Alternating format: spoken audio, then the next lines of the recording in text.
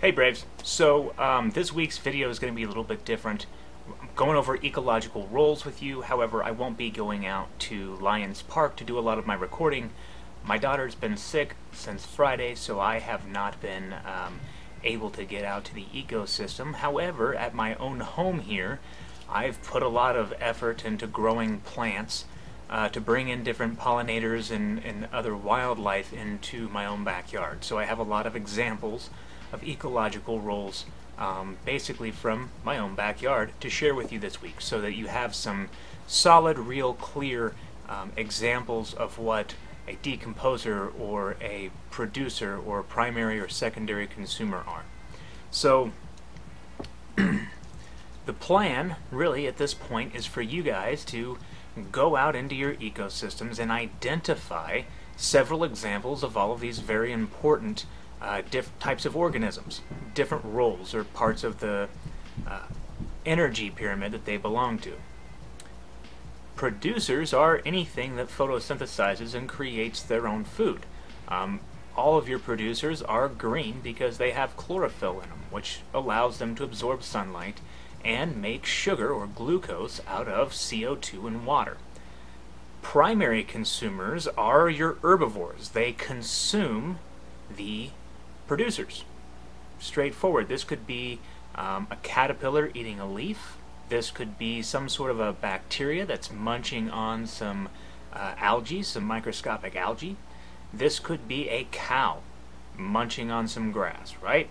All of these things are primary consumers and they get most of their energy from plant material. All of these particular organisms have the proper enzymes to break down the cellulose fibers that we humans generally have a hard time breaking down and they're able to break up those dense chains of glucose into single chains of or single glucose molecules that they can then use to make energy through cellular respiration. Your secondary consumers are things that eat other creatures, so not just plants, but they eat other insects or animals of some sort. So if you have to chase it down, you're a secondary consumer. Examples of this could be a spider eating an ant or a fly. Um, it could be a dog that is eating a mouse that it caught, or a cat that's eating a mouse. It could be a velociraptor chasing down its prey. If you eat another animal or insect or something else that moves, you are a secondary consumer. Now that's a big chunk of, you know, different species of organisms and different food sources. Finally, you get to your top predators, and your top predators are the ones where nothing else can eat them. They're the very tip top of the food chain. These things can be like red-tailed hawks, and those tend to be your top predators in the area. It can also be mountain lions, which do come through Kansas occasionally. However, you're never going to see these things, and if you ever do, you're it's basically you have a better chance of getting struck by lightning than seeing a mountain lion here in Kansas. That doesn't mean they're not here, but there might be a handful for the entire state. Bobcats could also be considered a top predator in this area. Nothing will mess with a, bo uh, a bobcat. So basically it's whatever sits at the very top of your particular ecosystem that nothing else can take a whack at. Now, all of those things being said, those are the main trophic levels of the energy pyramid. But there's one other thing that we have to consider, and that's decomposers. And decomposers are as important as your producers. And the reason decomposers are important is slightly different than that of producers. Producers are important because they're getting the energy uh, from the sun to infuse into the ecosystem, and without them, eventually we would run out of energy uh, to survive on. So plants, producers, are incredibly important to life. Again, there's no way for us to get energy here on Earth uh, without them. However, decomposers, on the other hand, are important because they recycle the matter and energy that's locked up in body parts. So, for instance, going back to that cellulose, well, if you look at wood, wood takes forever to break down, and there's not that many things that actually eat wood fibers. That's because those wood fibers are really hard. Those chains of glucose that make up that cellulose fiber are really hard to break down. So decomposers do all the work for us. Because what would happen is without them, without breaking all of these things down into smaller molecules that can be used by other things, what would happen is you just have an accumulation of dead bodies.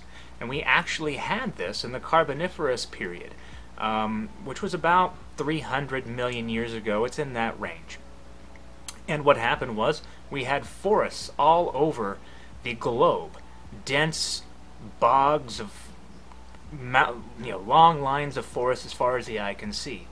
And when these trees would fall over, they would be covered up and nothing would break them down. And it just continued to stack on top and stack on top and stack on top for millions of years. And what this created was all of our current coal deposits. All of the coal that we burn to make electricity comes from the Carboniferous period when all of this dead material was just basically falling on the ground and being preserved in the rock record. It never broke down into constituent parts. It was never reused by the ecosystems. That's why we're able to pull it out of the ground and light it on fire. So decomposers, they're so important because they are taking these big chunky molecules that have been created by animals and plants and they break them up into smaller molecules that can be reused. And without that, without them, we would eventually run out of minerals and other important molecules for life. They would all be locked up in these bodies that couldn't be broken down any further, and basically the whole planet would eventually starve. So your decomposers are just as important as your uh, producers. Why are secondary uh, consumers important? Why are they? Why are primary consumers important? They keep populations in check. Primary consumers keep certain plant species from dominating landscapes, and the same thing is true for secondary consumers and top predators. They're keeping the other populations um, lower on the food chain in check. Without having something to go and eat the grasshoppers, grasshoppers could completely wipe out entire plant species. That there's reason why locusts have been considered plagues for thousands of years. So uh, the same thing is true for deer. If there is not something out there that's going to eat the deer and keep their populations in check, they will completely strip a landscape of all of these younger uh, trees and things like that. Ecosystems get out of balance, it can cause collapse in other populations elsewhere.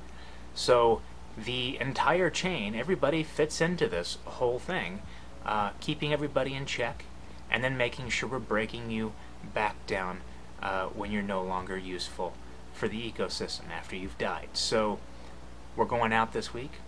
We're looking for these things, see what's in our ecosystem, and um, yeah, I'm going to do my best to give you some good examples here.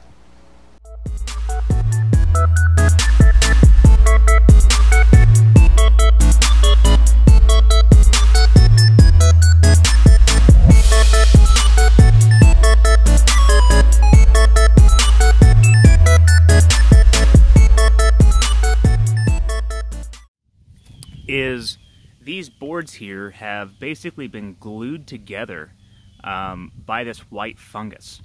And all through here are all sorts of decomposers. And I am going to move some stuff around here so you can see them.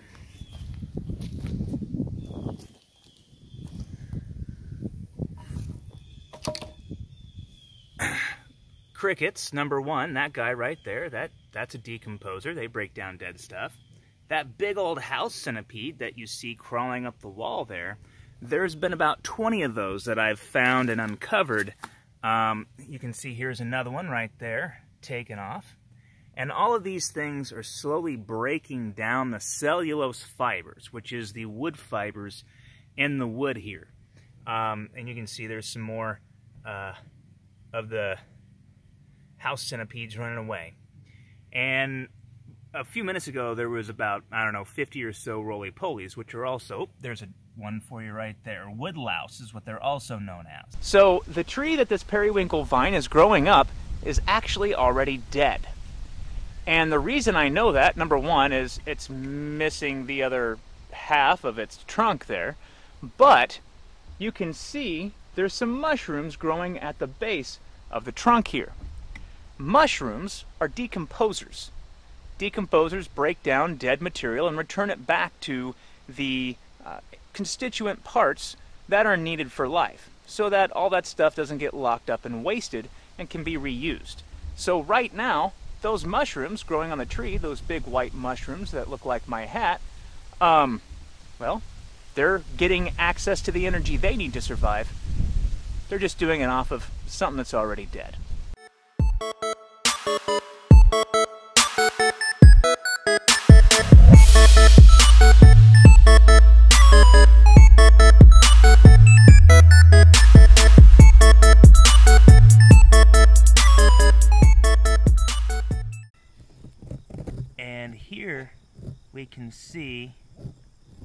Believe, that is a squash beetle. I can't quite tell, but it looks like, yep, two squash beetles here. So these guys lay their eggs underneath the leaves of my pumpkin plant, and then when they hatch, they come out and they eat my leaves and cause my vine to die back. So what I'm hoping for and what I'm waiting for are a few of the other creatures to come along and eat them. Uh, luckily you guys can see there's a lot of spiders out here and they tend to help out quite well with the uh, squash beetles. Um, there's also a lot of crickets and crickets aren't really all that harmful. They just break down dead stuff. So when you see crickets in the garden, don't worry. They're mostly just working on the dead leaf material and helping turn that stuff back into soil. Webworms are primary consumers which basically eat the leaves off of trees and will completely consume all of the leaves off of a branch if given the opportunity. These turn into pretty white little moths.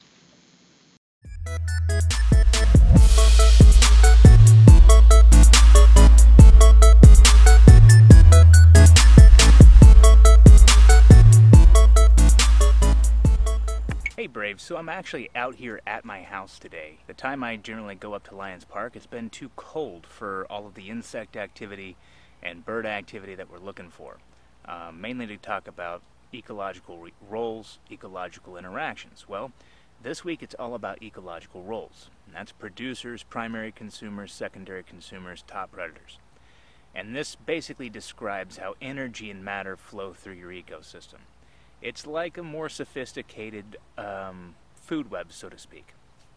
Anyways, so the reason I'm here at my house, it's a Sunday afternoon, it's about 64 degrees, and I wanted to get out here in the afternoon in, a, in an actual pollen source with all of the different pollinators, primary consumers, um, doing their thing. So flowers are producers. Any plant, any photosynthetic um, organism is a producer. It gets its energy from the sun, uses sunlight, water, carbon dioxide to make uh, glucose or sugar.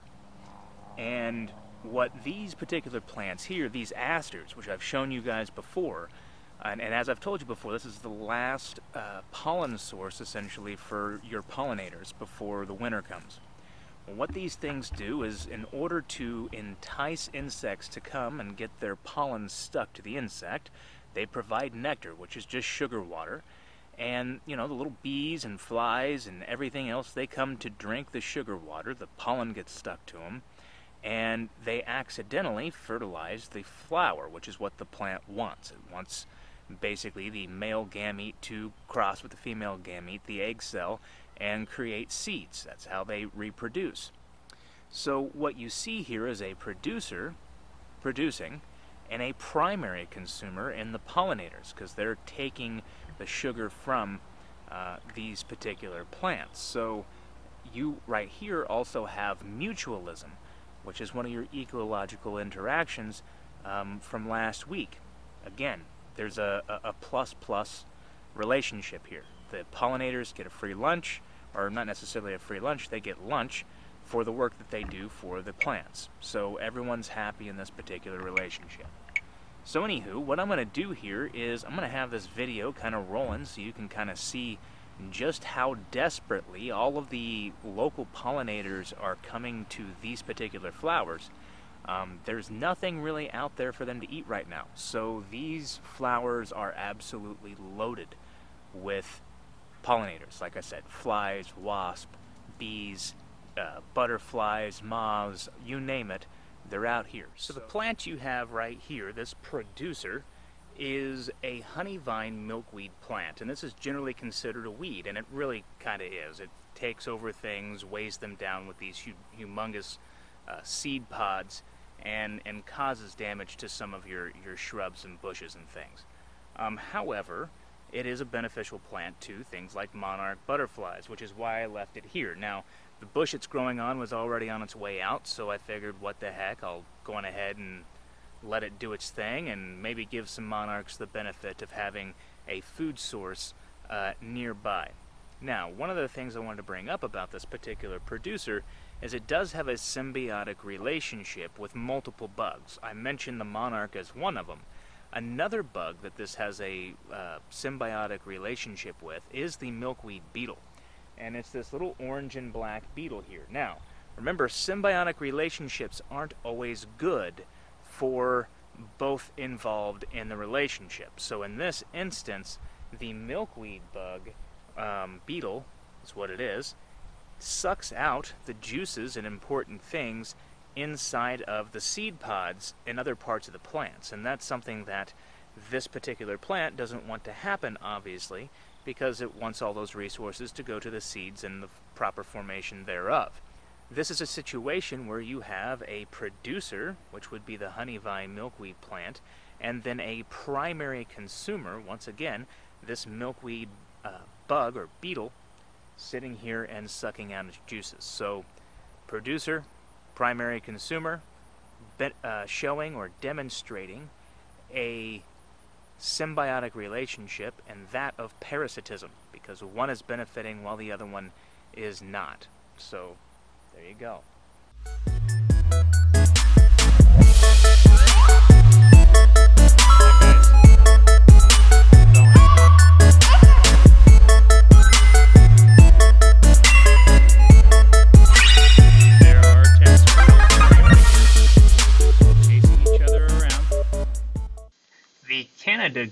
Goose is generally considered a primary consumer. However, in this case, because they do consume insects and uh, some small fish and some crustaceans, we list them as secondary consumers.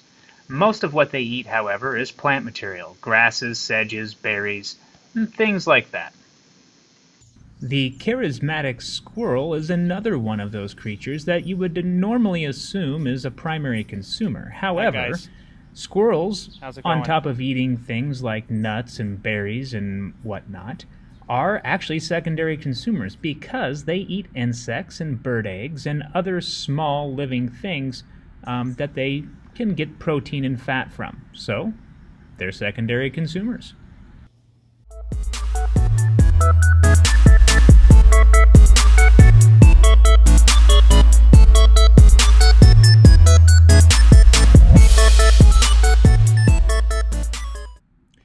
Raccoons are secondary consumers because they pretty much will eat anything they can get their little tiny paws on.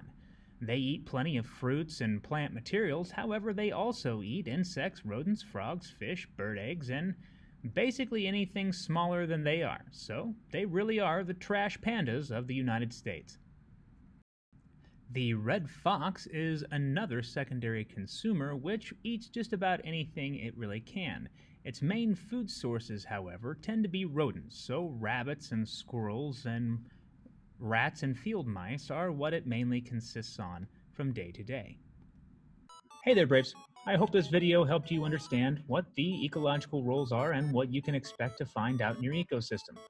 I could have spent hours and hours more adding more and more examples into this video, but I think you have the basic gist of what your decomposers, producers, primary consumers, and secondary consumers are, and how they operate within an ecosystem. I obviously didn't include any top predators in this particular video because, well, being top predators, there's only a few of them out there, so you might expect to find something like a red-tailed hawk or an eagle or maybe even a coyote if you're lucky, but most likely you won't be able to find those things when you're out doing um, your your investigation, your field investigation. So if you don't get one of those, just look something up that's supposedly here in Kansas and add it in. That's it. Mr. Clemmons, out. Like, oh my gosh, you guys should totally subscribe to my YouTube channel. For real.